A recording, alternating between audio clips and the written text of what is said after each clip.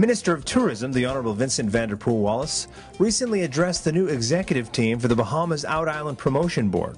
He stated that many visitors to Nassau are not aware of what these out islands have to offer.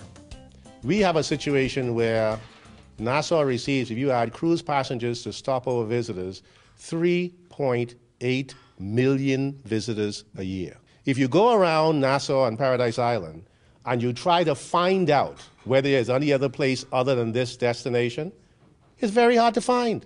And I could never figure out why we would not be, as an out island, making sure that everybody knows that there's so much more for you to come and see beyond this 2% that people have managed to focus on.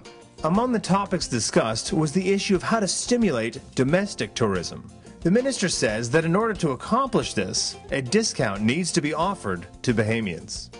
Disney in Florida would not work if it didn't have a special rate for Florida residents. Absolutely not work. If you take a look at the total number of people who go to Disney and where they come from, they're from the people who live there, in right close by. Give them a deal to come by and let them to come in. I've been trying since Hatchet was a hammer. Say, please, we keep talking about domestic tourism. Please, if I come into one of the out islands with my passport, give me a deal. And let people know that. Every time I go and see Bahamas residents fly free, that's one half of the equation. The other half of the equation is that today, every day, it is less expensive for people to go and fly to Florida than it is, and then stay in Florida, than it is to go to any of our islands from Nassau. So as long as we keep that in place, we keep wondering about domestic tourism, you know, domestic uh, gonna happen in tourism.